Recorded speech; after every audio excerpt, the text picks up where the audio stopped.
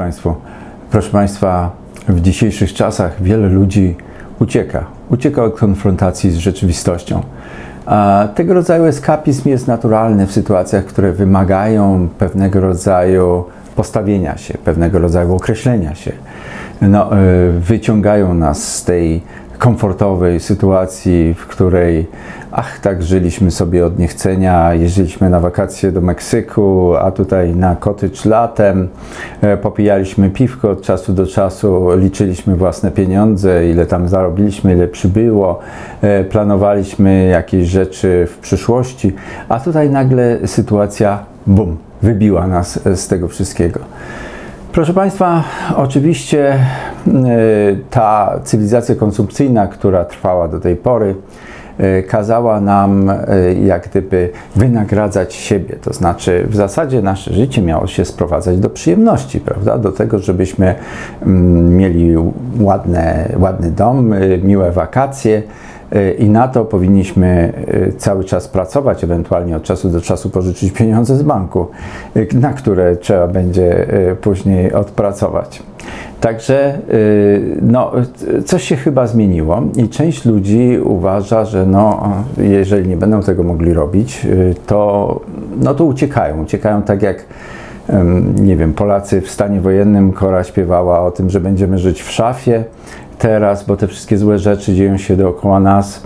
E, w piosenkach Kazika i jego taty jest o tym, że no właśnie jak to miło będzie leżeć sobie e, trzymając ręce na piersiach panienek i patrzeć w chmury kumulus e, w kolorze białym, a niebo jest zawsze niebieskie, bodajże tak to jakoś szło. Proszę Państwa, tak, odpoczynek jest konieczny, odpoczynek jest rzeczą naturalną, zawsze chcemy gdzieś tam od czasu do czasu przystanąć, ale właśnie przystanąć. Bo y, nasza cywilizacja uczyła do tej pory, że życie to jest realizacja powołania, powołania. Pan Bóg nas powołuje do czegoś. My musimy to powołanie rozpoznać i działać, działać w świecie. I nie bójmy się tych wszystkich przeciwności, nie bójmy się tego, co świat nam tutaj przedstawia, bo świat zawsze był jakiś i zawsze świat jest walką. Tutaj nie ma odpoczynku, to jest przedpokój, e, w którym, którym idziemy do wieczności. I proszę Państwa, e, no, e, dobro ze złem walczy od zarania dziejów. I to dobro ze złem walczy w naszych sercach, w naszych rodzinach, no i walczy też zewnętrznie w świecie. Więc y, nie dajmy się zwieść temu, że my powinniśmy sobie tak oto spocząć na laurach, leżeć na plaży, patrzeć jak y, słonko świeci. To nie o to chodzi w życiu. W życiu chodzi o realizację tego, do czego jesteśmy powołani. W życiu chodzi o realizację naszego zadania w tym świecie. I proszę Państwa, to jest wspaniała rzecz. Ta rzecz daje olbrzymią satysfakcję, ta rzecz napełnia nas energią, ta rzecz daje nam siłę do życia. I ta rzecz, ta rzecz pozwala nam y, żyć oddychając pełną piersią. To jest właśnie to, to jest odnalezienie y, sensu w życiu iluż ludzi jest y, zagubionych, iluż ludzi, którzy mają pieniądze, leżą na tych plażach, trzymają te ręce na piersiach tych panienek, patrzą w te nieba piękne i niebieskie, no i czują pustkę i czują, że jednak nie do tego zostali powołani że życie jest gdzieś obok. A tymczasem są ludzie czasem biedni, czasem e, no, w niebezpieczeństwie, e, czasem realizujący rzeczy, które by nam nawet do głowy nie przyszło, że, że można coś takiego robić. I oni czują się spełnieni, i oni czują pełnię swojego istnienia.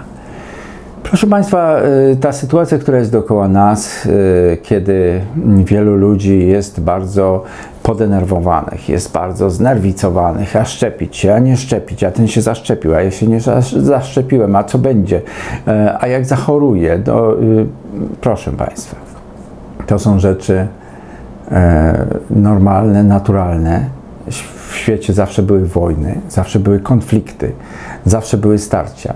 Nie dajmy sobie tylko odebrać tego, e, co, kim sami jesteśmy, to znaczy naszego stosunku do innych ludzi, naszego stosunku do e, własnej rodziny. Nie dajmy sobie odebrać tego spokoju ducha, który jest zakorzeniony w naszej wierze i w przekonaniu, że idziemy właśnie tam, do wieczności. A tutaj wszystko przemija. Więc no, naprawdę nie ma co szarpać sobie nerwów i nie ma co y, innym ludziom, nie wiem, wymyślać z takiego czy innego powodu. Proszę Państwa, naprawdę szanujmy się, y, naprawdę podchodźmy do bliźniego z miłością i y, poszanowaniem tego, kim jest, jaki jest. A no a cóż, e, czas ucieka, wieczność czeka. I to jest najważniejsze przesłanie e, tego naszego świata, i z tym powinniśmy żyć na co dzień, i z tym powinniśmy rozpoznawać nasze powołanie w tym świecie. Wszystkiego dobrego, nie denerwujmy się. Świat jest naprawdę piękny, życie jest wspaniałe. E, kochajmy się wzajemnie, lubmy się wzajemnie. My, Polacy, lubmy się wzajemnie, też lubmy in, innych ludzi. E, naprawdę nie ma co tutaj narzekać, nie ma to, co tutaj się przejmować i nie ma to, co e, zamykać się do jakiejś szafy czy do jakiegoś bombla, e, zamykać w jakimś eskapizmie, nie konfrontować z rzeczywistością. Właśnie w tej konfrontacji z rzeczywistością jest nasze szczęście, jest nasze powołanie i jest nasza wielka przyjemność działania. Wszystkiego dobrego. Do następnego razu. Mówił Andrzej Kumar.